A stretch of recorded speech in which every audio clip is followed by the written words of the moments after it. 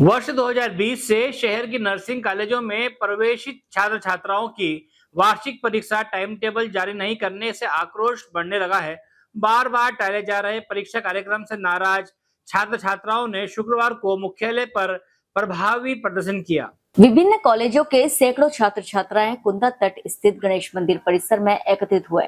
यहाँ रैली के रूप में कलेक्ट्रेट पहुँचे। कलेक्ट्रेट परिसर में प्रवेश नहीं मिलने से नाराज़ विद्यार्थियों ने इंदौर रोड पर धरना प्रदर्शन करते हुए नारेबाजी की, जिससे करीब आधे घंटे तक सड़क के दोनों ओर जाम लग गया। पुलिस की चेतावनी के बाद रास्ता खोला गया। धरना देने के बाद राज्यपाल, मुख्यमंत्री, स्वास्थ्य मंत्री के नाम डिप्टी कलेक्टर को ज्ञापन सौंपा गया। इस दौरान परीक्षा नहीं तो वोट नहीं का नारा भी लगाया गया। विद्यार्थियों ने मांग की है कि जल्द टाइम टेबल जारी करने के साथ ही परीक्षा के बाद समय पर परिणाम भी घोषित करें। Bureau report Khargone.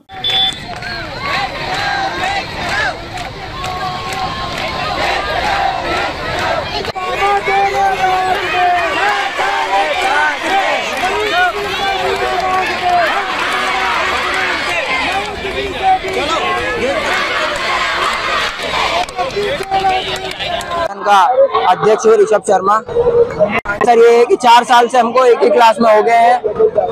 यदि हमारे मांगे सर नहीं पूरी होगी तो हम आने वाले चुनाव में सरकार का पूर्ण बहिष्कार करेंगे। ये हमारे कड़े वचन है। जय हिंद जय भारत। नर्सिंग और पैरामेडिकल के जो स्टूडेंट हैं उनकी एग्ज़ाम नहीं हुई है तो उनकी एग्ज़ाम के लिए और या तो फिर जनरल प्रमोशन दे उसके लिए उसकी मांग के लिए यहाँ पे सभी एकत्रित हुए हैं। जो बीस की बेच है उनके चार साल हो गए होने में आ गए तीन साल दो हज़ार तेईस हो गया है। अब तीन महीने बाद दो हज़ार चौबीस स्टार्ट हो जाएगा उनका अभी तक उससे कुछ भी नहीं हुआ है और न ही उनके एग्ज़ाम हुई है तीन साल से, एक ही क्लास में है वो। परेशानी होने से क्या परेशानी है? माँ बाप आर्थिक स्थिति से गुजर रहे हैं वो पैसा नहीं भर पाते हैं तीन साल से पैसा कहाँ से लाएँगे? और जो बच्चे हैं वो एक ही क्लास में पढ़ाई कर रहे हैं तो उनका रेंट हर हर हर साल अलग अलग रहता है तो तीन साल तक एक ही क्लास में है तो वो कितने साल हो जाएँगे जब तक एग्ज़ाम नहीं होगी तो? और नौकरी भी उनको नहीं मिलेगी और जो सीनियर है उनकी वैकेंसी भी हाथ से निकलते जा रहे हैं उनका भी रिज़ल्ट नहीं आया है और रजिस्ट्रेशन और रिज़ल्ट नहीं आएगा जब तक वो वैकेंसियाँ भी उनके हाथ से निकलती जाएगी। क्या हम यही कि जल्दी से। प्रमोशन दे क्या नाम है आपका? Nisha Yadav B S C third year तेरह नर्सिंग कॉलेज के और तेरह मेडिकल के विद्यार्थी हज़ारों की संख्या में कलेक्ट्रेट का घेराव करने आए सर।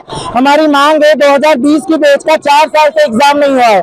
2021 की बेच का तीन साल से एग्ज़ाम नहीं हुआ है। और जिन बच्चों का एग्ज़ाम हो चुका है 2019 और अठारह वाली बेच का उनका परीक्षा परिणाम घोषित नहीं किया गया है। इससे बच्चों का भविष्य जो अंधकार में है माँ बाप किसान परिवार से चार साल से एक क्लास का पैसा भर रहे हैं। उनका भत्ता नहीं आ रहा है स्कॉलरशिप नहीं आ रही है। कॉलेज प्रशासन अलग हमारे ऊपर प्रेशर बनाता है। हमने आखिर कहाँ जाना? प्रशासन हमारी मांग सुनता नहीं है।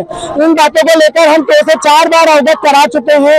आज हम लोगों ने कलेक्टर को यहाँ पर ज्ञापन देने का दिया है। कलेक्टर हमारा ज्ञापन लेने को तैयार नहीं है। सरकार मिलीजुली अपनी सरकार चला रही है। भविष्य से किसी के भी छात्र को कोई फ़र्क नहीं पड़ता। हमारे एकमात्र उद्देश्य हमारे भविष्य को ध्यान में रखते हुए हमारे जल्द से जल्द एग्ज़ाम कराई जाए और जो बच्चों का चार साल का कोर्स बाकी है उनको जनरल प्रमोशन देकर उनको आगे यथावत आगे बढ़ाया जाए। साहब मेरी बात सुनिए। हेलो फ्रेंड्स आप देख रहे हैं हमारा channel S W twenty four news हमारे सारे वीडियो सबसे पहले देखने के लिए आप हमारे चैनल को सब्सक्राइब करें और पास में लगे बेल आइकन को दबाना बिल्कुल भी ना भूलें।